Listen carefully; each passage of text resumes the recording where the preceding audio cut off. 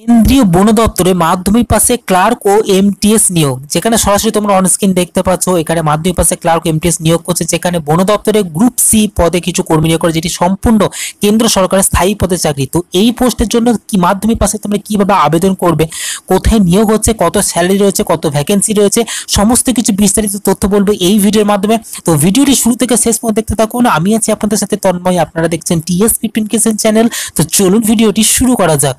তো এখানে দেখতে পাচ্ছ বন দপ্তরে বিভিন্ন গ্রুপ সি কর্মী নিয়োগে বিজ্ঞপ্তি প্রকাশিত হয়েছে। যে কোনো ভারতীয় নাগরিক আবেদন করতে পারে। নিয়োগ করা হবে ইনস্টিটিউট অফ ফরেস্ট বায়োডাইভার্সিটি এটি হলো কেন্দ্রীয় সরকারের অধীনস্থ একটি সংস্থা। এটি একটি কেন্দ্রীয় সরকারি চাকরি। তোমরা দেখতে পাচ্ছ বন দপ্তরে গ্রুপ সি পদে কর্মী নিয়োগ করেছে। যেখানে সরাসরি কিন্তু ভারতীয় নাগরিক হলে আবেদন করতে পারবে। যেটি নাম নিয়োগ করা হচ্ছে ইনস্টিটিউট অফ ফরেস্ট বায়োডাইভার্সিটি পদে নিয়োগ করা হচ্ছে। এটি সম্পূর্ণ একটি কেন্দ্রীয় সরকারের স্থায়ী চাকরি। এখানে বিজ্ঞপ্তির নম্বরটি শো করছে, তোমরা অনস্ক্রিন দেখতে পাচ্ছ। যারা মেমো দেখতে চাই মেমো তোমরা এখানে দেখে নিতে পারছ। যে পদের জন্য তোমাদের রিক্রুটমেন্ট করা হচ্ছে, পদের নাম হচ্ছে স্টেনোগ্রাফার গ্রেড টু যেখানে একটি ভ্যাকেন্সি রয়েছে, এবং লোয়ার ডিফেন্স ক্লার্ক অ্যাক্টিভ ও মাল্টিটাস্কিং স্টাফ পাঁচটি ভ্যাকেন্সি রয়েছে তাহলে কিন্তু এই পোস্টের জন্য আবেদন করতে পারবে। সরাসরি এখানে দেখতে পাচ্ছ, বয়স সীমা যদি কথা বলি, বয়স হতে হবে আঠারো থেকে সাতাশ বছরের মধ্যে বয়স হলে তোমরা এই পোস্টে আবেদন করতে পারবে। বয়স করবেন। চব্বিশে নভেম্বর দু হাজার কুড়ি হিসাব অনুযায়ী মানে চব্বিশে নভেম্বর দু হাজার কুড়ি হিসাব অনুযায়ী আঠারো থেকে সাতাশ বছরের মধ্যে বয়স হলেই এই পোস্টের জন্য আবেদনযোগ্য এবং এসসি এসটিরা পাঁচ বছর বয়সে ছাড় পাবেন ওবিসিরা তিন বছরের জন্য বয়সে ছাড় এখানে পেয়ে যাবেন। বেতনে যদি কথা বলি, বেতন থাকছে প্রতিটি পদের ক্ষেত্রে মূল বেতন দেওয়া হবে। সেভেন সিপিসি পে লেভেলে মানে সেভেন পদে স্যালারি তোমাদের দেওয়া হচ্ছে, যেখানে স্টেনোগ্রাফার গ্রেড টু পদে দু হাজার চারশো টাকা গ্রেড পে থাকছে লোয়ার ডিভিশন ক্লার্ক পদে এক হাজার নশো গ্রেড পে থাকছে এবং মাল্টিনেশনাল স্টাফ পদে গ্রেড পে থাকছে এক হাজার আটশো টাকা। মানে সেভেন লেভেল পদে স্যালারি তোমাদের দেওয়া হবে তার গ্রেড পে গুলো এইগুলো থাকছে তোমাদের প্রতিটি পদের ক্ষেত্রে।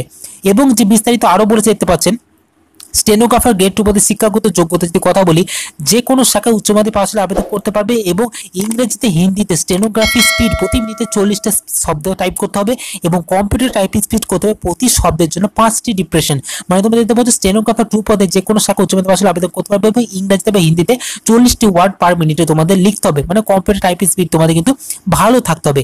লোয়ার ডিভিশন ক্লার্ক পদে আবেদন করে যেখানে উচ্চ মাধ্যমিক পাশ হলে আবেদন করতে পারবে।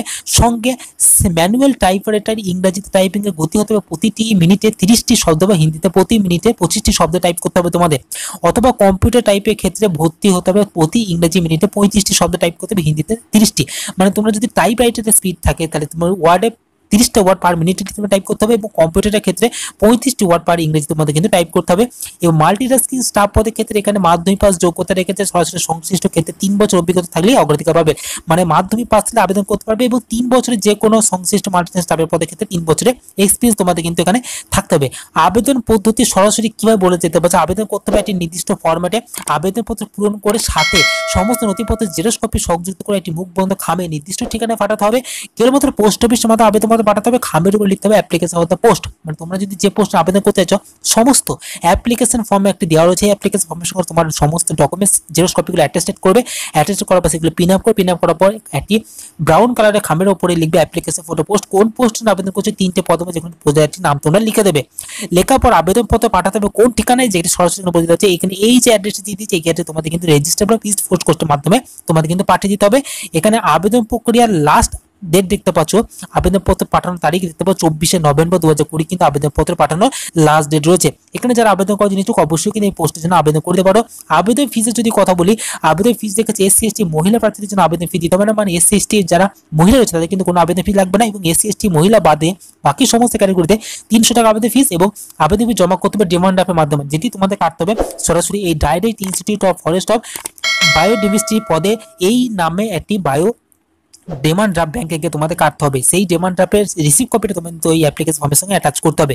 তো এখানে দেখতে পাচ্ছ অ্যাপ্লিকেশন ফর্মটি ডাউনলোড করার জন্য এখানে দেখতে পাচ্ছ ডাউনলোড অ্যাপ্লিকেশন ফর্ম এই ডাউনলোড নয় ক্লিক করলে তোমাদের কিন্তু অ্যাপ্লিকেশন ফর্মটি সরাসরি অ্যাপ্লিকেশন ফর্মটি ডাউনলোড করে নিতে পারবে। সেই নোটিশটি যা এখানে বললেন, সেই নোটিশ সব বলে দেওয়া আছে। সেই নোটিশ সঙ্গে অ্যাপ্লিকেশন ফর্মটি অ্যাটাচ করা রয়েছে। এই অ্যাপ্লিকেশন ফর্মটিকে তোমরা সরাসরি এরপর সাইজে প্রিন্ট আউট করবে। প্রিন্ট করার পর তোমার সমস্ত ডকুমেন্টস অ্যাটাচ করবে সেল অ্যাটাচ করবে। দিয়ে তোমাদের যে অ্যাড্রেসে বললাম, এই অ্যাড্রেসে তোমাদের কিন্তু চব্বিশে নভেম্বরের মধ্যে তোমাদের কিন্তু পাঠিয়ে দিতে হবে। স্পিড পোস্ট বা রেজিস্ট্রি পোস্টের মাধ্যমে এবং খামের উপর লিখবে অ্যাপ্লিকেশন ফর পোস্ট কোন পোস্টের জন্য আবেদন করছ। যেখানে সরাসরি মাধ্যমিক পাস হলে তোমরা কিন্তু এই পোস্টের জন্য আবেদন করতে পারবে।